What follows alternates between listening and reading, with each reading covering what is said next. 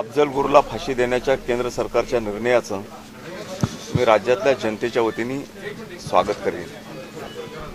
एक संसदेवरचा हल्ला हा देशावरचा देशाच्या प्रतिष्ठेवरचा आणि लोकशाहीवरचा हल्ला होता.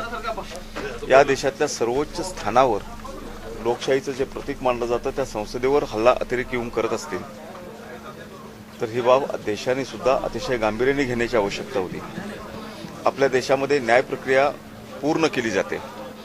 अनेक वेळा आरोपींचं काय ऐकून घेतलं जातं जागेवर पकडलेल्या आरोपींचं सुद्धा अशाही पद्धतीची टीका होते.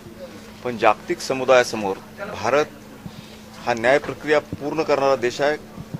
या देशामध्ये कायदा राज्य करतो. हे जगाला सुद्धा दिसण्याची आवश्यकता होती. म्हणून कसाब असेल किंवा अफजल गुरु असेल थोडासा विलंब झाला. पण या देशावर कुणी हल्ला केला तर देश सहन करत नाही. अंतिम शिक्षा देतो.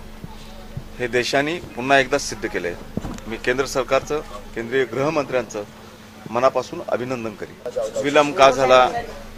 हा प्रश्न सहज कोणतरी विचारू शकतं. गोपनीयता का पाळली? हे विचारतं. पण प्रत्येक प्रश्नाला दुसरी एक बाजू असते. आता त्या अडचणी सरकारला माहीत असतात. पण त्याची जाहीर वाच्यता करणं हे फायद्याचं ठरत नाही.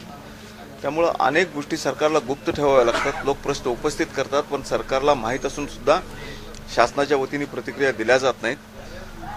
काय अडचणी होत्या का विलंब लागला हे केंद्र सरकारला अधिकचं माहीत असणार. पण त्या सगळ्या गोष्टी लोकांच्या समोर ठेवणं हे अडचणीचं होतं. राज्यामध्ये आणि देशामध्ये कायदा सुव्यवस्था राखणं हे सुद्धा पहिलं आणि आद्य काम आहे. आणि मग ती राहावी म्हणून ज्या उपाययोजना केल्या जातात त्याचा एक भाग म्हणून सुद्धा अशा गोष्टीमध्ये गुप्तता पाळणं हे आवश्यक असतं.